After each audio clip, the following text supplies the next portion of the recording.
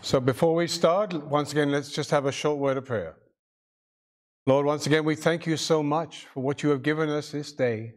And Lord, I just ask through the Holy Spirit and through our Lord Jesus Christ that you use this servant, that the words I shall speak shall not be based on my own understanding, but shall be spoken for the Holy Spirit, that God has a message for each one of us today.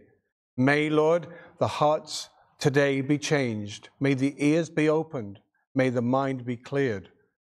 And we thank you for what you did, as Elizabeth said, the way you gave your life for us, so that we may have life.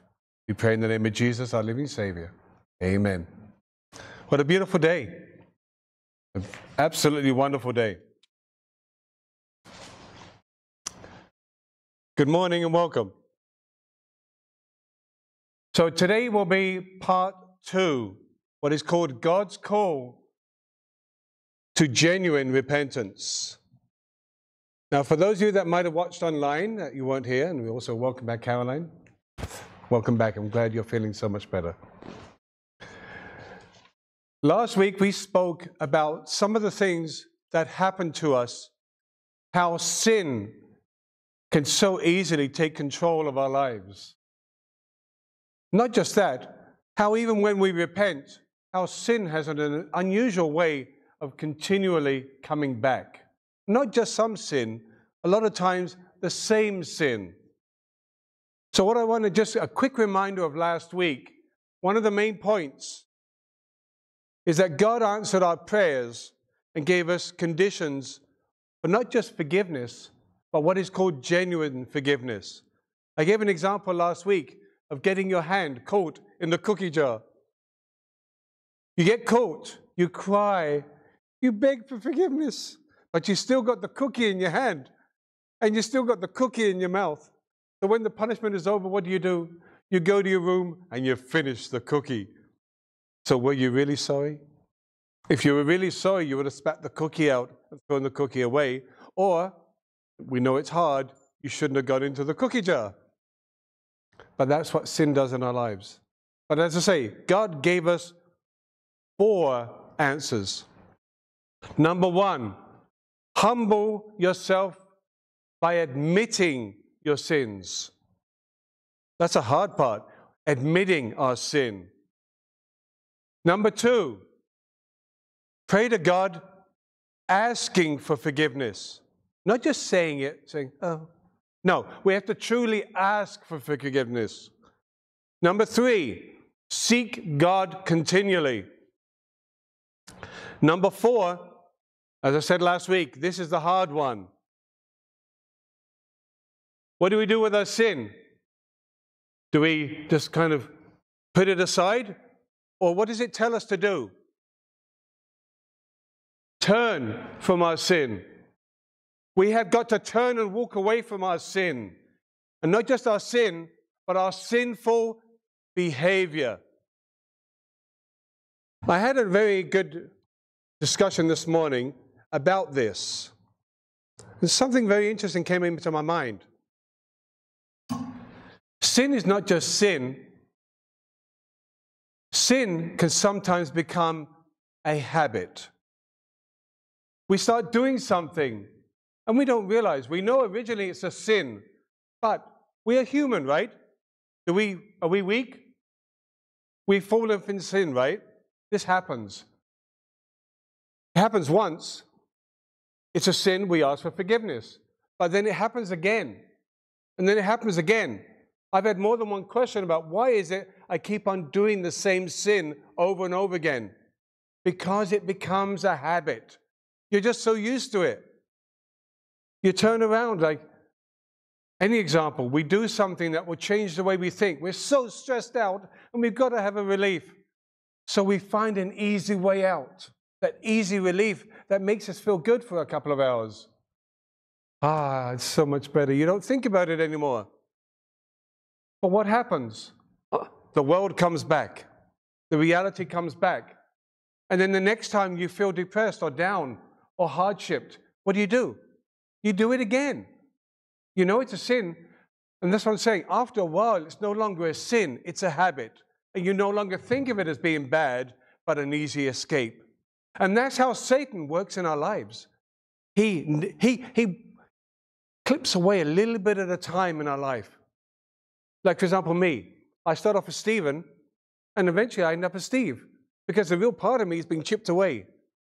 I've accepted what I've got into, and it feels good temporarily, right? But you don't understand. It's just, no. Think of who we're sinning against. We're sinning against a holy God. And we realize can anyone here tell me that it is hard, or sorry, that it is easy to get rid of sin? Is it easy or is it hard? I got a hard here. It is hard, isn't it? Now, my question to you is Have you tried to get rid of the sin? Have you really tried? That's a symbolism, yes. But it's through. But as I say, have you really tried to get rid of that sin? In order to get rid of sin properly, what we also need to do is we need instruction. And where do we get instruction? Right here, the Word of God. So, what I want us to do right now, because what we have to do, we, know, we not only are trying to get rid of sin, but we need to be like Jesus and defeat sin. Amen? How do we get genuine, not just surface repentance like the cookie jar? How do we get genuine repentance? I want you to go in your Bibles in the New Testament to Second Corinthians.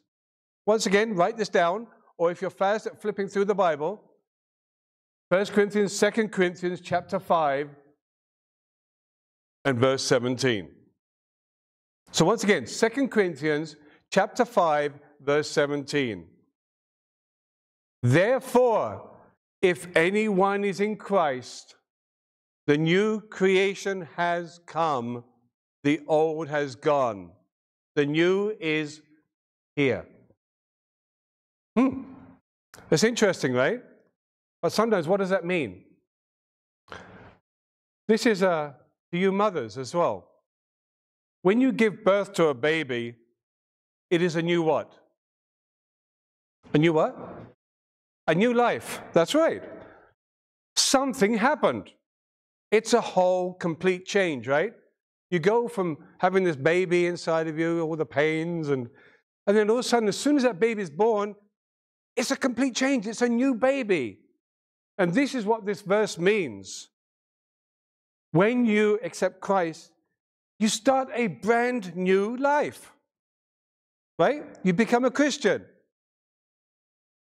But you have to understand, in order to do this properly, like genuine repentance, you have to have a faith in Jesus Christ. Not just a faith saying, oh, I have faith that I'm going to win the lottery next week. No, that's artificial. We have to have a true faith in Jesus Christ, who he is, in the spirit of genuine repentance.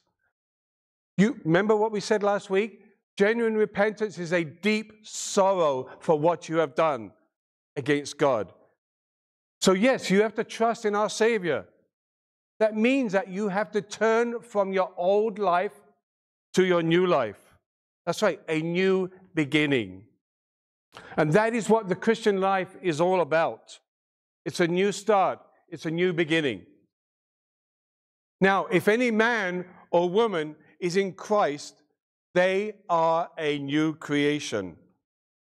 So when you start looking at the scriptures, and no matter where you turn in the scriptures, the Old or the New Testament, everywhere you turn, something new happens.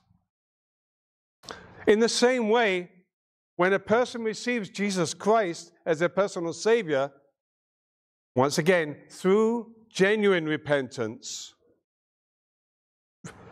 Let's remember what repentance truly means that you have a sorrow for the life that you have lived. And you should be committed to what? A different kind of life, correct? As was mentioned to me last week, we need to change. Now, this doesn't mean that, you know, oh, I'm going to clean up my life now. Because you know what? You can't clean up your life. Salvation is the work of the Holy Spirit.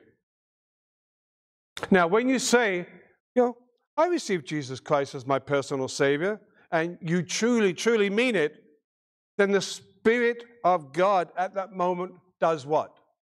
Can anyone tell me what happens at that very time that you accept Jesus Christ? What does the Holy Spirit do? He wakes up, right? He becomes alive in you. He becomes your essence. Your spirit at that time is renewed, right? Something brand new. Now, what we got to remember the Holy Spirit is living within you to enable you to live out the life that you have just received. Remember, salvation is the life we receive. It isn't some kind of gift that God gives apart from Himself. We have to understand that. It is the life that He comes to live within us. Therefore, and I'm going to, I want you to pay attention to this, okay, please? It is inconsistent for me to claim that I am a Christian, yet I am living my old life. Doesn't that make sense? We say we're a Christian, we got this new life, but we keep on falling back to what we used to do. Isn't that confusing?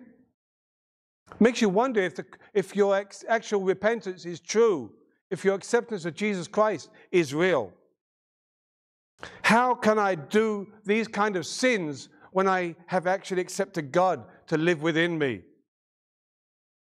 I want to give you a quick reminder in, from Luke about the prodigal son. We remember the prodigal son, right? He wanted his inheritance from his father. He left. Went out, had a great time, didn't he? Didn't he have a good time? Didn't last long, did it? What my point is here is what did he do when he was wallowing in with the pigs to clean up? At that point, he wanted to do what? He wanted to go home, right? He wanted to go back to the Father. So at that point, he made a decision. He said, I know that I'm not worthy to go back home and be accepted as his son. So I'll go back and I'll be one of the slaves. Wow, what a decision, right? This is a decision that we make in our lives. So, as I say, he went in faith that his father would accept him back.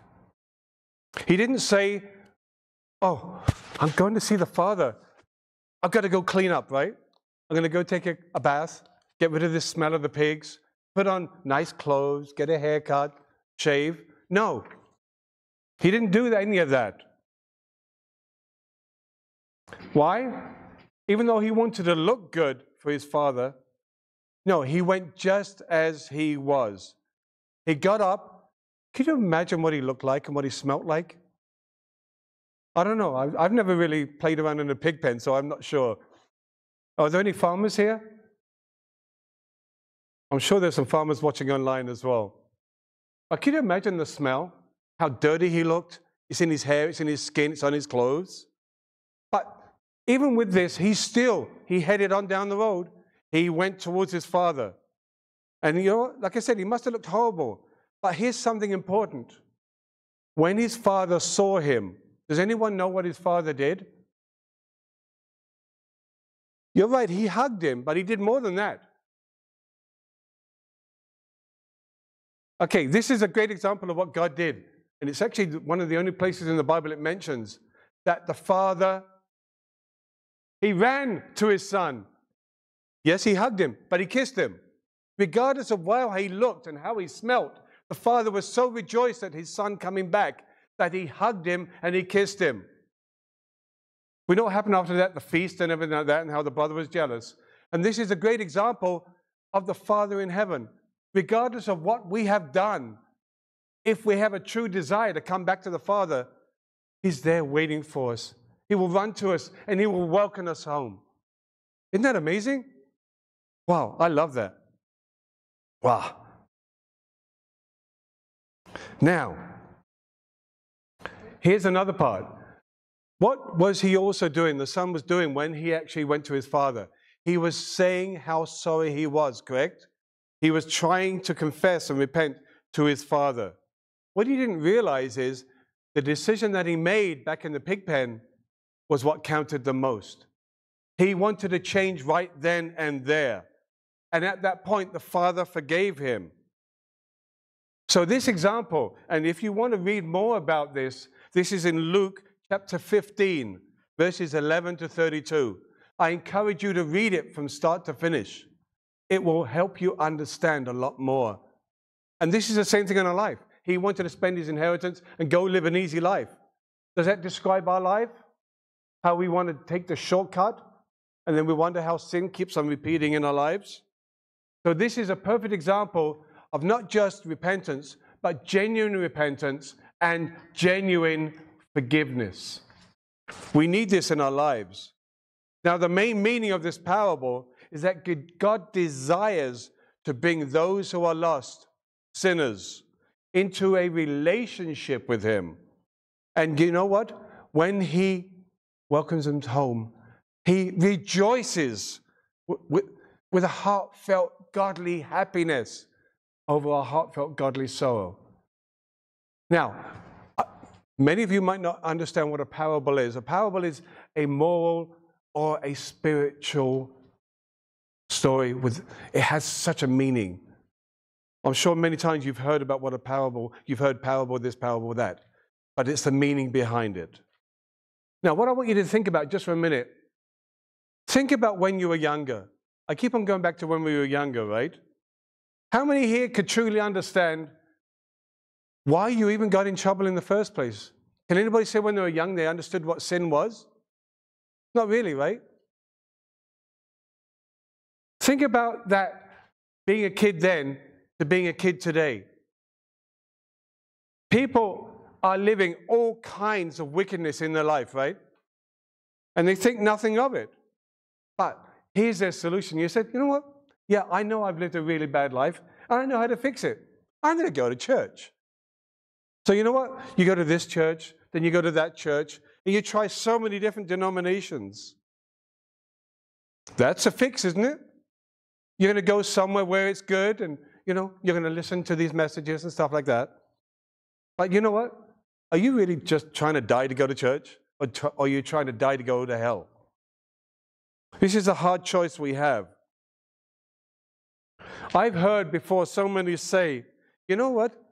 We've got to think about this. I've been baptized as a kid. You know what? I taught Sunday school. Nothing for the ladies, but I sing in a choir. You know what? I've even preached a few times. Well, I'm sorry to say, that will not necessarily do you any good. But you say, hey, wait a minute. You mean to tell me that I am willing to get up and preach and teach and help people to understand the truth that I won't go to heaven? That's not absolutely what I'm saying. You've got to listen to this next verse to understand what I'm saying. So I want you go a few chapters before back to Matthew, the first book of the New Testament, Matthew chapter 7.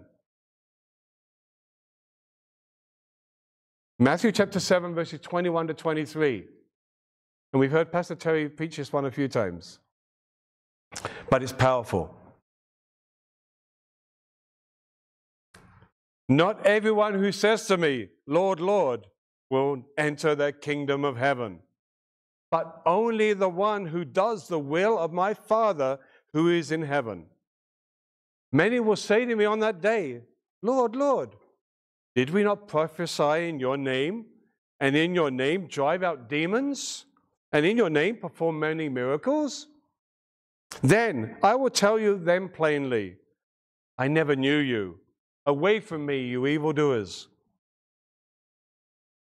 A man can preach the gospel all his life. But here's the catch if he's never been saved by the grace of God, you know what? When he dies, he's not going to heaven, right? I want you to understand this, please. Listen to this. Salvation has nothing to do with good works. But I always do good for people. I try to help everybody.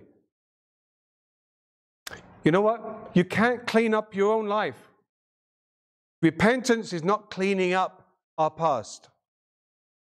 Repentance is acknowledging our past and accepting the sin that we did against God.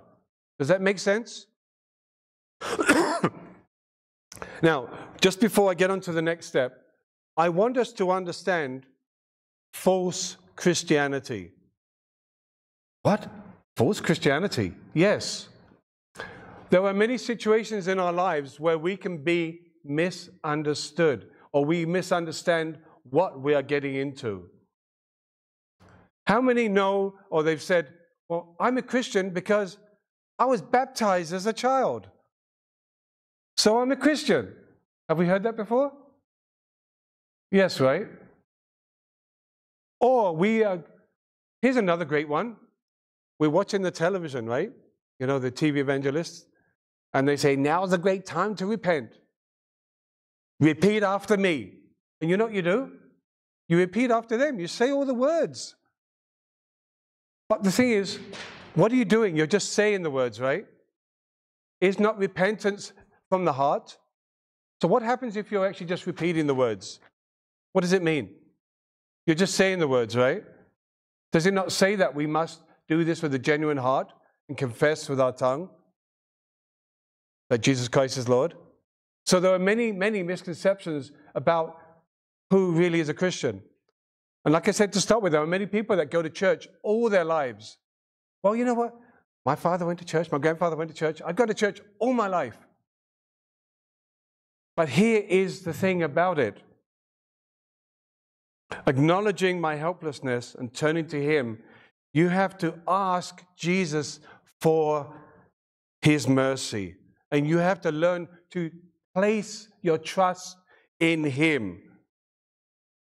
Have we all done that properly? Have we placed our trust in Jesus Christ? And this I'm talking to as well, those of you online. It is a very, very difficult and a hard decision sometimes. We think we've truly accepted Jesus Christ because we said the words or we do good works. This world is full of so many deceits, right? We are tricked into false beliefs. There's God the Father, there's God the Son, there's God the Holy Spirit. So, why is there so many? How many religions are there in this world? Thousands, right? And they all, in many ways, teach different things. There are churches that teach you, like I was having a conversation with Pastor Terry, talking about the Nicene Creed. And it says in there, we acknowledge one baptism for the forgiveness of sin. Does baptism forgive your sins? No, right? But there are churches that teach that. So is it the people's fault that go to the church they're being taught, right? So they believe that, oh, baptism forgives. So they miss an important step. They do not go to the one main source. What's the greatest verse in the whole Bible that means everything? The basis of Christianity? John. That's right. God so loved the world that he gave his only Son, that whoever believes in him shall not perish but have do you know how many people in this world, how many billions of people have never even really looked at that verse? What about John 14, 6? I am the truth and the life. No one shall come to the Father unless through Jesus Christ, through me. Not me, but Jesus Christ. Many people have never heard these verses. This is what we talk about in, in when it's false Christianity. They believe, they are told that they have salvation. But can we afford to take that chance? Can we afford to spend the rest of our life thinking that we have Christianity? What if you don't? What if you're not sure? Have you ever thought about this? Like I said on the start, the questions that have come up about why does my sin keep on coming back? Number one, temptation. We give into temptation. Number two, and I'm not saying it as an insult, but have we truly accepted Jesus Christ? if we don't have the Son in here, if we don't have Him in our heart, what do we have? We are still living according to this world, right? Isn't it scary? Like I said, we cannot clean up our own life. If we could clean up our own life, do we need Jesus? Do we need the cross? Because then we're taking claim for it ourselves, right? No. We have to start really thinking do we have salvation? We, as a human being, are desperately lost from God. Apart from grace and mercy and the work of the Holy Spirit, this will bring us to a realization we need to be saved. That's right. It's not saying, oh, it's nice, I'll think about it, you know, I'll put it on my to do list. Right? How many of you have a to do list? And we never get around to it. That's right. By faith in Jesus Christ, with a repentant spirit, when you come to Him with that spirit, your sins will be forgiven. That's right, they will be forgiven.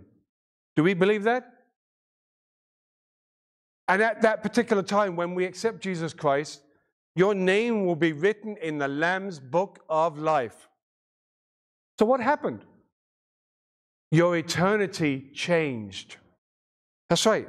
Your eternity changed because salvation is not just a change here, salvation is an eternal change. Not just an eternal change, it is also an eternal change of your destiny. When we die, how many locations are there? How many locations can you go to when you die? Two. That's right. Heaven and hell, right? Wow. Only two choices. And here's another thing. In some of the religions and churches, do they not teach, well, you know, we just lost our loved one. They've lost part of our family. So what do they teach you? It's okay. You can pray for them. Have we heard about that? I had a discussion about that this morning. So when someone dies, can you pray for them and God's going to change his mind? What? I'm confused. But some of the churches tell you that when you pray for your loved one, God's going to change his mind. That must be a. F- oh no, I've been wrong all these years. Brothers and sisters, this is taught in many places. It is called the prayer of redemption.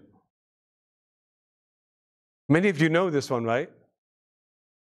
They teach that no matter what, you pray and get, God's going to say, Oh, you got many people praying for you. You didn't accept my son when you were alive, but of, because they love you so much, I'm going to change my mind and you can come to heaven. Is that going to happen? There's also a belief that when they're there, when God also changes his mind, redemptive prayer, that those people now, they're going to talk to God about you and you're going to be saved. Isn't that confusing? There's so many things that we, we're told to believe. What I can say is, when we look to the source, the true information, it's all in here, right? We've got to be careful that we don't get the wrong teaching. That what I say up here, or anyone that says up here, is false. That's why we follow along with the Bible and know that what is here is the true and accurate Word of God. Now, I'm going to point this to anyone right now that is not sure about their future, that is really not sure about their salvation. This is a perfect time to change your eternal future especially if you've not done so and if you're not sure. This is a scary one, isn't it? When we sit here and we doubt if we truly have salvation.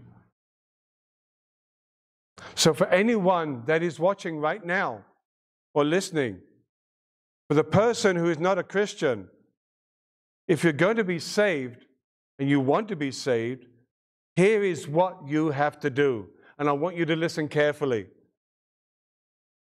In many ways, this is what's called an altar call, or a call to you if you want to change your destiny.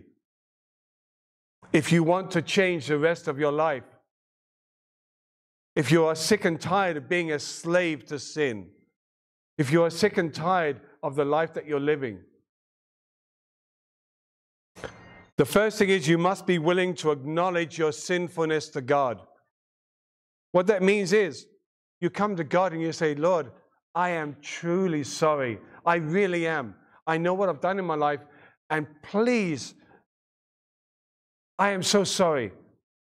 This is called a genuine, heartfelt repentance, correct? It comes from the heart especially over the fact that you have sinned against your Heavenly Father. So, therefore, you are asking for forgiveness. There are many people who have gone all their lives and never asked for forgiveness. Many people have actually said, You don't know what I've done. How can God forgive someone like me? Many know my past, many know what I've done. A sin is a sin, no matter which way you look at it. Whether you've done things like I've done, like try to kill someone, rob a bank, hurt people, stolen from people, deceived people. I've been in shoot ups, in ammunition warehouses with a SWAT team. I've had policemen chasing me and shooting at me. I've done so many gang activities. At one point, I even went to church and I was a drug dealer. I, was, I didn't know. I went to a church where they didn't teach me Jesus Christ. They didn't teach me that doing these things is wrong. I wasn't told about sin. Is that my own ignorance? I can say yes and no. We get to a point in life where we have to truly say, I've had enough. Have you ever reached that point in life where you say, enough is enough? I'm tired of living to sin. I'm tired of living this way, and I want to change. That is a simple but hard thing of asking for forgiveness. Now, here comes the next part. When you ask for forgiveness, you have to do something. And for many that have been raised with a hard life, for many that have been abused, and I'm sure many of us can agree that we've been abused. I was sexually abused, I was physically abused, I was mentally abused. So we have to do one thing that is going to be so hard. We have to trust. How can I trust when every time we turn around, someone's stabbing me in the back? How many have had a difficult time with trust? It affects each one of us, right? But at this point, you have to trust Jesus.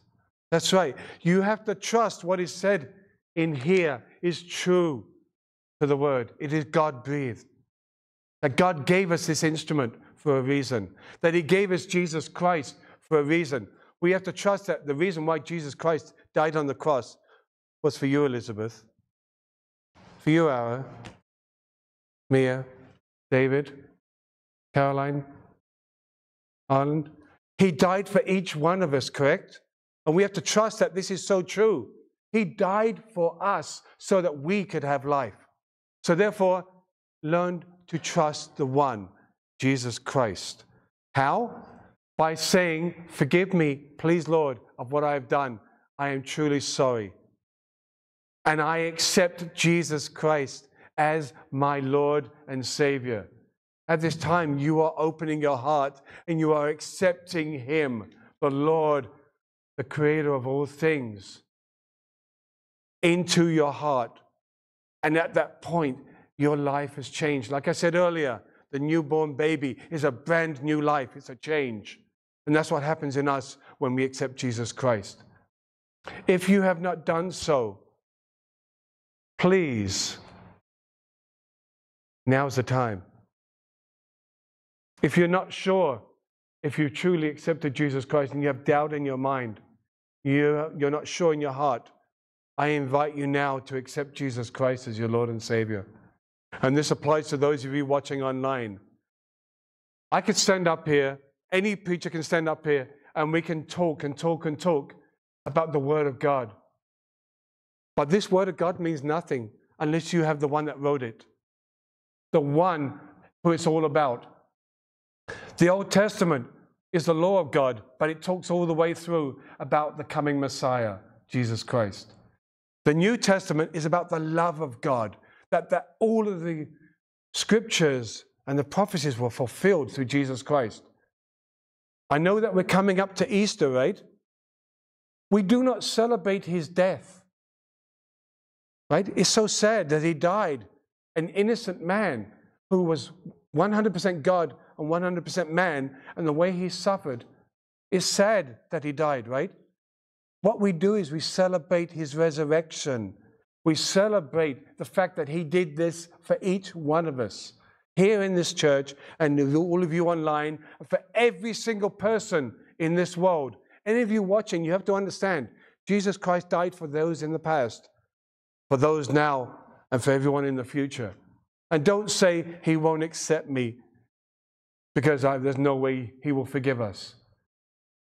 Did I not say last week that Jesus will forgive all sins? Right?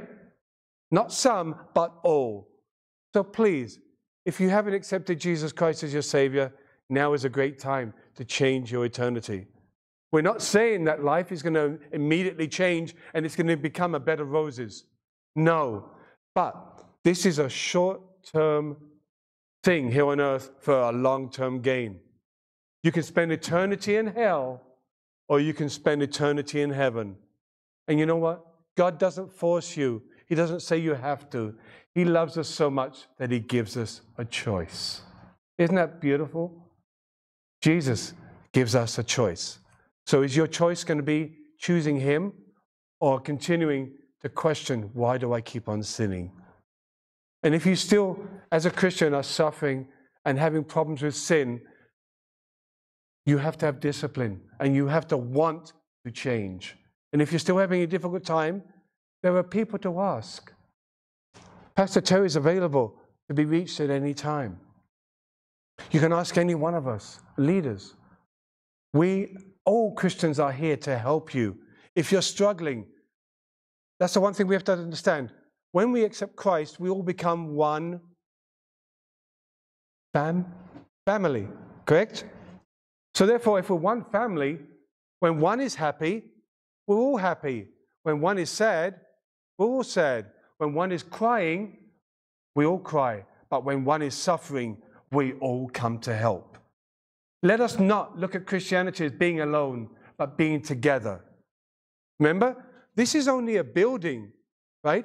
It's a gymnasium, but when we're here, it is Christ's church. It is God's place. But the true church, brothers and sisters, is in here. Let us not corrupt this church by allowing sin to keep on sneaking in.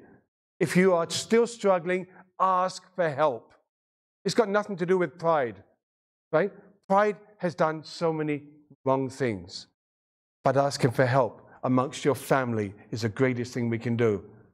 So if you, were, if you just accepted Jesus Christ online, let us know so we can help you, so that we can point you in the right direction to find a church, a home for you.